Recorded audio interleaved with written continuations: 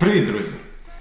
Сьогодні я хочу записати відео, яке б я хотів мати на той момент, коли ми купували свій перший автомобіль в Норвегії.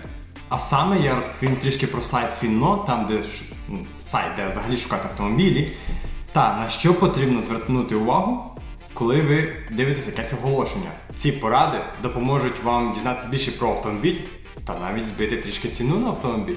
Ну що ж, переносимось на сайт Finno.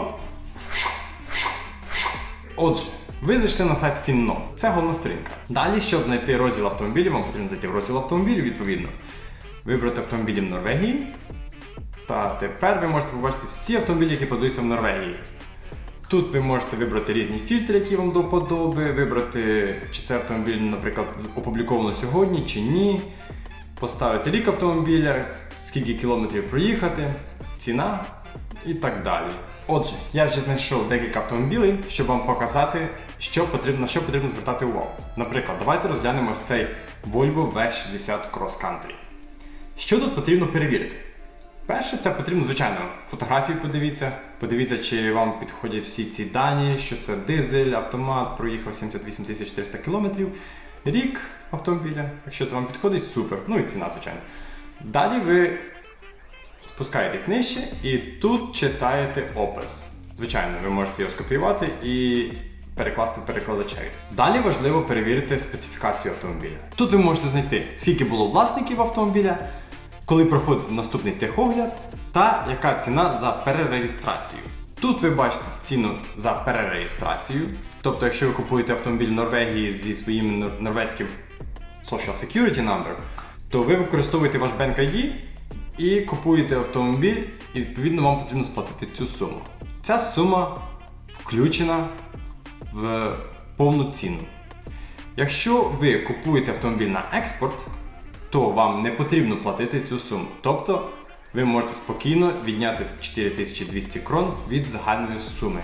І ось ви побачите ціну автомобіля без е, плати за перереєстрацію. Тобто це вже ви можете на цьому виграти. Вже виграли 400 чи скільки це євро.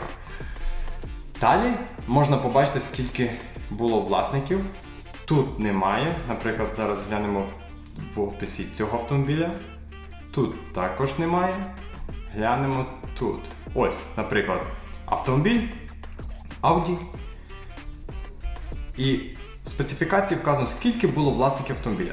Цього автомобіля було 5 власників. Також ось тут можна побачити наступну дату, коли потрібно пройти техогляд. Чим ближче до цієї дати, тим, звичайно, дешевше можна купити автомобіль, оскільки не зрозуміло, що в ньому потрібно буде справляти, коли ви будете проходити техогляд. А зазвичай, коли проходите техогляд, то є якісь е, моменти, які потрібно відремонтувати. Тому тут же можна торгуватися з продавцем, казати, що ось скоро техогляд, скиньте ціну там, чи пропонувати свою ціну. Повертаємось на сайт. Також е, в описі, ну, в оголошенні, є ось така секція, де власник відповідає на різні питання про автомобіль. Наприклад, чи відомі якісь проблеми, чи є якісь царапини, і тут він розписує, якщо щось відомо йому. Чи були якісь великі там ремонти, глобальні ремонти автомобіля, і чи були якісь там е, ремонти двигуна. Це також важливо перевірити, щоб ви вже знали більше про автомобіль. Ну, звичайно, також можете подивитися, де цей автомобіль знаходиться. Але що ж робити з тими оголошеннями, де немає цієї інформації, де немає е, даних про наступну, наступний техогляд, чи даних, скільки власників було цього автомобіля? Давайте я вам покажу. Ну, повертаємося до цього Volvo, дивимось. Тут немає інформації про те, скільки було власників та коли наступна, наступний техогляд. Ми піднімаємось вище, і ось тут є корисні посилання. Ми можемо перевірити нас час до наступного техогляду. Вас перенесе на сайт Statens Vegvesen, на сайт, на сайт МРЕО, норвезького МРЕО. І тут ви вже можете побачити дату наступного контроля. Наступний, наступний дедлайн 30 червня 2024 року. Також тут ви можете побачити різну інформацію про автомобіль, коли він був зареєстрований, розміри автомобіля. Також тут можна побачити, скільки було власників автомобіля та коли останній раз заміряли е, одометр в автомобілях. На жаль, це не видно для е, користувачів, яких немає Norwegian Social Security Number. Якщо ви не маєте цього, то ви не зможете перевірити. Але, наприклад, я вам покажу. Я зараз заходжу, я себе ідентифікую, і я тепер на своїй сторінці відповідно цього статус Весен. Тут я можу побачити, хто теперішній власник е, автомобіля. Потім я можу побачити його контроль, звичайно, це те саме, що ви можете побачити.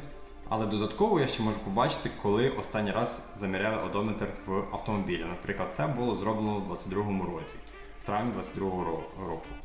Також я можу побачити власників автомобіля. Тут видно всіх власників цього автомобіля.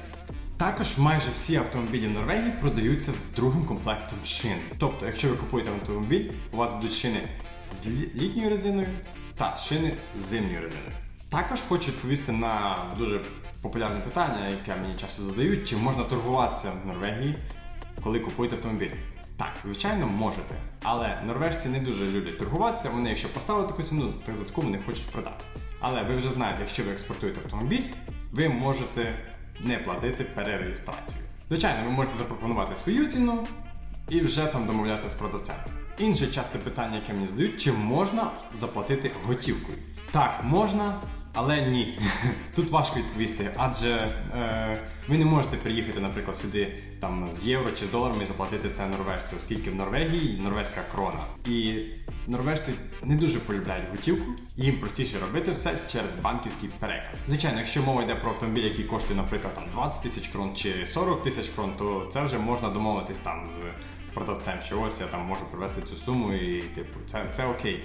Але якщо мова йде про автомобіль, який коштує там, ну знаю, 100 чи 200 тисяч крон, то вони надають перевагу банківському переказу. Також прийти у відділення е, банку Норвегії та заплатити за автомобіль, тобто поставити готівку в банку Норвегії.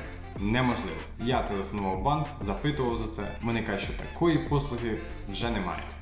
Ще декілька років тому ще можна було прийти і заплатити інвойс банку. Зараз це неможливо. Найпростіше це банківський переказ. Якщо у вас виникли якісь питання про автомобілі Норвегії, пишіть в коментарі, я спробую на них відповісти. Якщо ви хочете купити автомобіль Норвегії та пригнати в Україну, то я рекомендую звернутися до Ігоря. Я залишу його контакти в описі відео, і він вам зробить все від початку до кінця. Купить Норвегії, привезе вам його в Україну без всяких проблем. І вам не потрібно буде думати, як прилетіти в Норвегію, як автомобіль довести, і всі ці документи, бла бла бла. Він зробив все від А до Я. Дуже рекомендую його послуги. Сподіваюся, що це відео було для вас корисним. Якщо так, тисніть лайк і підписатись. До зустрічі!